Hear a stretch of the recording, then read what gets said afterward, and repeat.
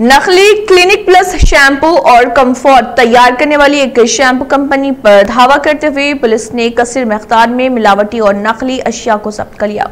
Special operation team Balanagar zone ने एक खुफिया तलाब पर कार्रवाई करते हुए पद्मानगर फ़ेज़ टू में ये कार्रवाई अंजाम दी। पेट बशीराबाद पुलिस हदूद में वाक़ इस शैम्पू कंपनी की जानब से धोखादही का बहुत बड़ा रैकेट चलाया जा रहा था।